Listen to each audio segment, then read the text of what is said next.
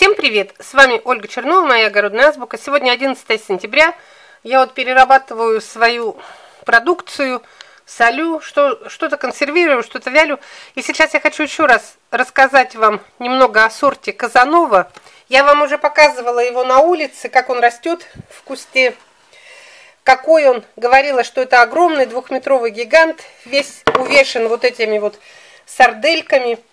И сейчас вот я буду заниматься консервацией и расскажу вам, что он идеально подходит для консервирования и объясню почему. Ну почему тут ясно. Плоды такой формы, которая сама просится в банке, почти нет в банке пустых мест, потому что они, видите как, они прям, ну идеально для банки. Это вообще лучше сорта не придумаешь. Особенно вот если 0,7 банка – высота от начала до конца, никаких промежутков нет, ничего. Вообще меня восхищает, что именно такой размер под баночку, такая форма. Вот сейчас у нас пасмурно на улице, дождь, ночью был град. Но если вот плохое настроение, пасмурная погода, захотите улыбнуться, посмотрите разнообразие сорта Казанова. Я сейчас солю, ну, консервирую и смеюсь. Ну это вообще, ну как, как так может придумать природа на одном кустике? Смотрите,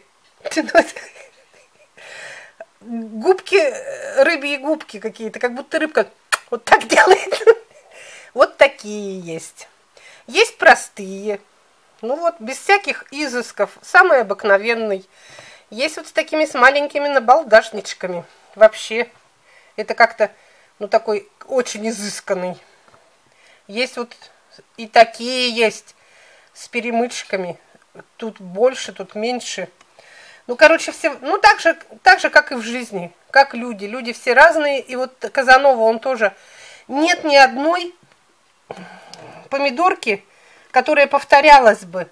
Все совершенно разные, у кого на балдашничке больше, у кого меньше, у кого нет вообще, у кого просто скромная вот такая щелочка, раздвоенный конец – ну это вообще, я не знаю, как можно так придумать. Но вот разнообразие форм вот этих вот. И в длину также он. Один огромный, длинный, другой поменьше, покороче, подлиннее. Всякие разные.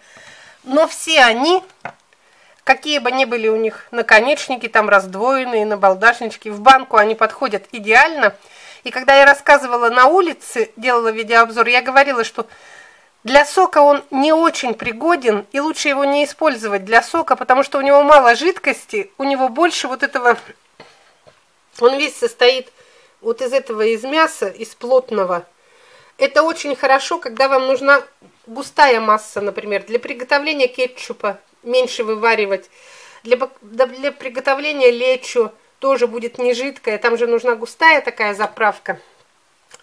Я вот хочу, так же как предыдущий сорт, мараханскую кисть, хочу и законсервировать, и повялить. Потому что для вяления, мне кажется, оно идеально. Пишется всегда, что выбирайте вот такие мясистые, мало, не водянистые сорта, чтобы было много мяса, мало сухи, много сухих веществ. Вот Казанова именно такой сорт. Я вот такие лодочки сейчас наготовлю, повялю, посмотрю. Потому что, вот видите, я разрезала именно что у него вот эти толстые мясные, ну, короче, мясная вот эта составляющая, она почти вся помидорка, воды почти нет, и это очень хорошо для консервирования. Когда водянистый томат его начинаешь вытаскивать, он может как потерять форму, порваться, весь вытечь. Тут вытекать нечему, тут одно мясо. Я вот, конечно, все это законсервирую, потом зимой буду доставать, я покажу, как она себя, ну как, повела в консервации, но уже видно и сейчас невооруженным глазом, что такие мясистые томаты – это идеальный вариант для консервирования.